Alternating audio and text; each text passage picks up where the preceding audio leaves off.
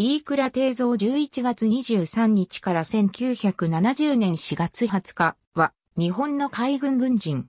海軍航空総装機の搭乗員で、第一次世界大戦において展開された日本海軍初の航空作戦に参戦した一人である。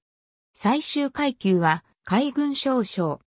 飯倉らが乗り組んだ若宮丸千葉県出身。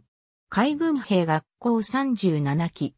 37期の入校試験は3200名以上の志願者を集め、合格者は180名である。飯倉は、席次53番で入校し、卒業時は179名中29番であった。宗谷乗組として、遠洋航海に参加。宗谷乗組候補生の専任者は、井上成美で、他の候補生に、竹部隆夫がいた。艦船乗組、十科学校の普通科学生として、少尉時代を過ごす。その末期である1912年10月に、井上文吾ら4名の操縦練習将校1期生の搭乗員要請が始まった。11月には、仏国、米国から帰国した金子洋三、河野三吉の海軍初飛行が行われる。飯倉は操縦練習将校3期生となり、操縦技術を習得した。竹部、馬越吉七も3期生である。イークララが登場したファルマン水蒸気1914年第一次世界大戦が勃発し海軍はチンタオ攻略戦に航空部隊の投入を決定。イークラは航空規模艦若宮丸乗組として金子、和田秀穂、竹部らと先発隊に選ばれ出陣した。9月5日には金子、和田、竹部らの初出撃が行われ、その翌日、飯倉は和田家の偵察員として出撃した。13日は操縦員として竹部と、14日には竹部と共に和田家の偵察員として出撃、27日には竹部家の偵察員として機雷捜索飛行を実施し、9月29日は山田忠春樹の偵察員、翌月29日には操縦員として単独偵察攻撃を行った。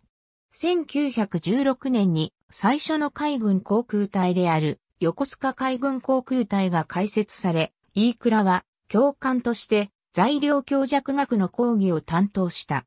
この再機体構造を担当したのが馬越である。海軍大学校専科学生を経て、1917年12月に英国、仏国、異国、米国出張を命じられ、1920年4月に帰国する。この間、英国航空軍の航空機研究機関に関する報告や陸海軍から独立した空軍創設の必要性を唱えた報告を行った。センピル教育団による教習が終了し、1922年11月1日に霞ヶ浦海軍航空隊が開け隊する。同隊は航空術の研究、教育が主目的とされ、飯倉はその初代飛行長で教官を兼務した。管制本部第2部部員県海軍大学校教官を経て、1927年には米国出張。航空本部や軍令部出資、横須賀海軍交渉航空機実験部部員、造兵監督官などを経て1932年12月、大祭新旧。佐世保海軍交渉、航海軍交渉、航空交渉の各航空機部長を計4年弱務め、1938年11月少将へ昇進。翌月予備役編入となった。海兵、操縦練習将校とも同期生であった二人、第一次世界大戦で共に出撃した竹部隆夫は中1代に殉職し、馬越吉七は横小式水上偵察機の開発に成功したが、昭和初期に死去している。飯倉の妻は諸角三郎の三女。